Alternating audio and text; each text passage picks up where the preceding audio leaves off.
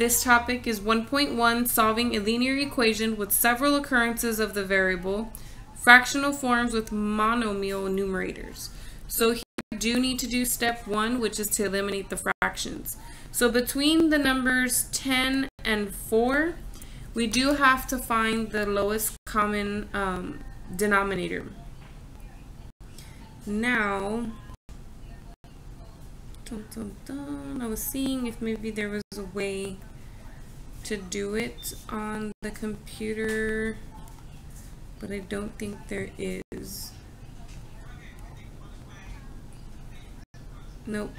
So the easiest way to find the common denominator is to take the larger number of your denominators and list its multiples. So for 10 times 1 is 10, 10 times 2 is 20, 10 times 3 is 30, 10 times 4 is 40, and so on and so forth.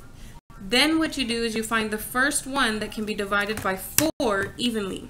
So 10 divided by 4, that's a decimal, which means it does not go into 10 evenly. 20 divided by 4 is an, a nice integer 5. So this is the first number, the first multiple that 4 will go into. Therefore, this is going to be my LCD. So that is the number that I'm going to multiply to all three terms here. Now notice that I put the minus in front of my multiplication.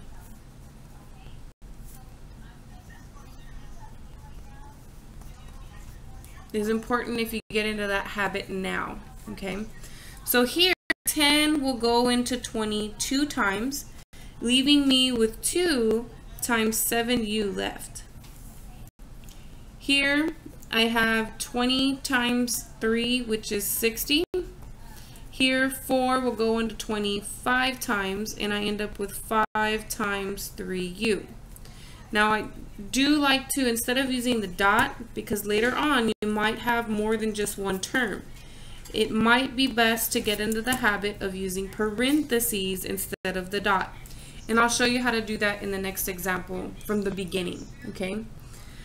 So here I will get 14u, the minus 60 comes down, and here I will end up with 15u. Now I have successfully canceled out the denominators. I've also done step two, which is to get rid of the parentheses by multiplying.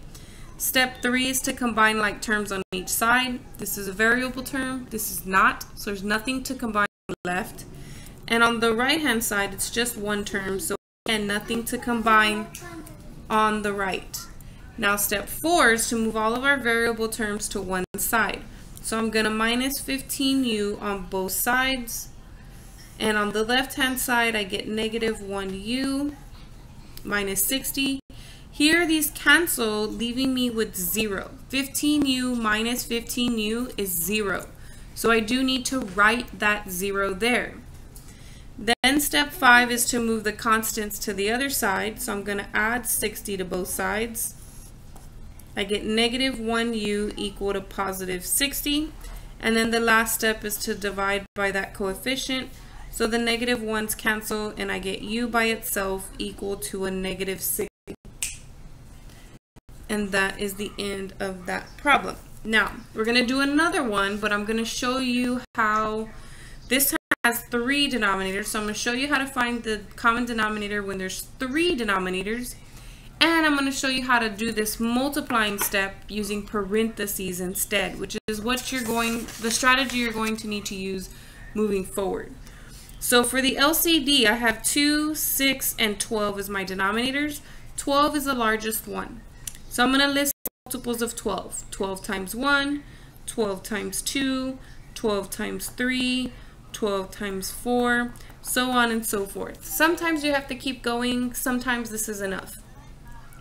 All you need to do is the first one, the first multiple that both of these numbers go into. 2 does happenly, happen to go into 12 evenly.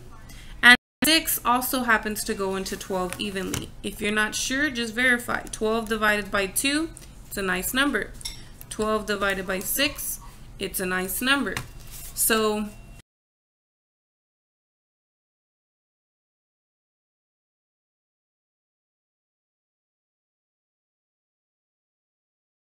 So what I'm going to do is I'm going to do 12 times x over 2 in parentheses, put my plus, then 12 times 5x over 6 in parentheses equal to 12 times x over 12.